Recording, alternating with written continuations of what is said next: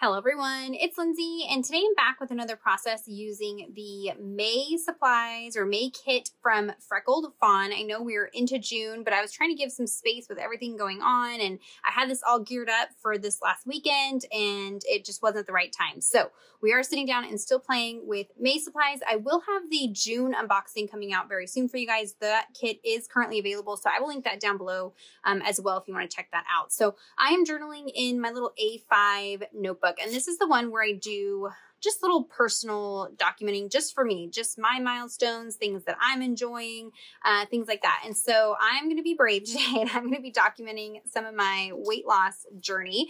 I really did not think that I was going to share these photos, but I'm doing it. So that's what I'm going to be documenting. Um, this is about, I think, three weeks or four, three weeks between these sets of photos. So I'm going to be documenting these. And so I pulled out a variety of things from the May kit and I've done some prep uh, already. I had some floral dies, and so I just tested out, die cut them from some of the papers from the 6x8 kit, and I'm going to be using these as well as some distress inks matched with the pattern papers, and just kind of put together a pretty simple little layout using some of my little leftover bits from May. So let me go ahead and put you guys on fast forward, and we'll put this uh, layout together. All right, so I'm going to start with a piece of cardstock and I'm going to ink this up with some distress inks. I'm going to die cut the base images from these dies uh, from this. So I have pine needles here. I'm going to use seedless preserves and broken china. And this is a pretty porous cardstock, so I don't get a super smooth blend, but that's okay. I don't mind the texture. If you want a smoother blend, I would suggest using like watercolor paper or maybe just, I think Distress, like Ranger does a cardstock for Distress inks. You could use that. But I am using just regular Distress inks this time around. They have a little bit deeper, richer color than the oxides do, and I wanted it to be a little richer since the colors of this kit are a little more rich. So I'm going to do these base layers for these florals as well over here. This is in the Seedless Preserves. Uh, these dies will be linked down below for you guys if they're still available. I know there's tons and tons of different uh, floral die cuts out there that you could use as well. So here, just going in with broken china, and I'm just using the die itself as kind of a guide to make sure I have enough of it inked up uh, before I run this through. So you do want to make sure that this is 100% dry before you die cut it. Um, if you don't do that, it will kind of tear and you won't get a nice clean cut with your dies. So you do want to make sure you heat set your ink, especially when you've done a lot of inking like I did here. And then I'm just using a little bit of washi tape to hold down those dies and then I'm going to run that through my manual die cutting machine. So now I can start assembling. Again, this top piece of the florals was cut using some of the 6x8 papers from the May kit and I'm just taking some liquid adhesive and using my finger. Uh, you could also attach some double-sided adhesive to the back of the paper before you run it through your die cutting machine. I just didn't, I didn't think of that ahead of time. Uh, this one's a little bit fussy to get lined up. I end up fighting with it quite a bit, but I love the contrast between the ink and then you have that fun little pop of pattern on the top. And that's another great way to use up your paper scraps um, or maybe a pattern that is not necessarily a pattern that you would find yourself using in a big project or a big layout. It's nice for small die cuts like this.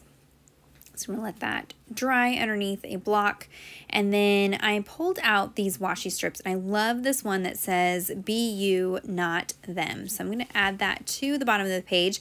And really what is super awesome about those washi strips is they perfectly fit at the bottom of an A5 page. I mean, perfect. It was amazing. So I'm going to pull out this uh, purple one as well. I'm trying to kind of stick to purple, blue, and green, and I will have a little pop of yellow uh, on this layout. So now I can kind of start positioning things where I think that I'm going to want them. I'm not really doing any journaling of any sort, so I can really fill in um, the page with these images.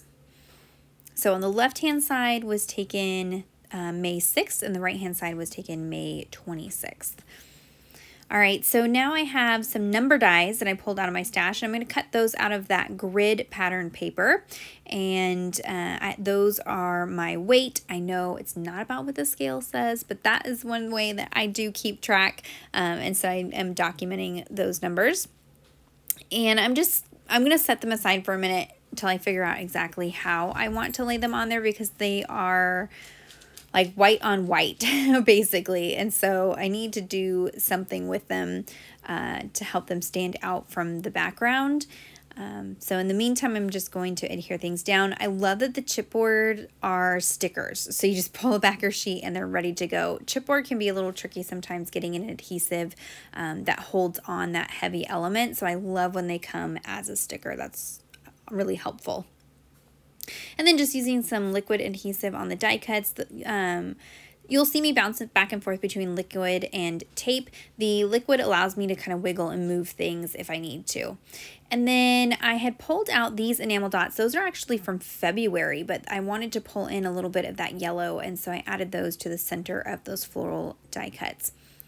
So here we're back to fussing with the numbers. I kind of want to incorporate the labels, but the sizes weren't quite what I wanted. So at this point, I'm putting down this yellow label thinking that I'm going to do some journaling in that spot, but I end up just using that as a base underneath the number die cuts there.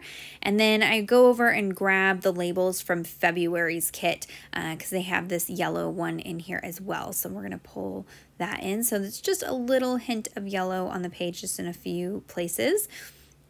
I really love that there's enough colors in the color palette each month that you could you know easily use all of them but you just by picking two or three completely changes kind of the look of what the project that you're doing um, with whatever colors that you pick from that palette. So if you look back at my project from earlier in May, um, it just has a very different feel because of the colors that I used.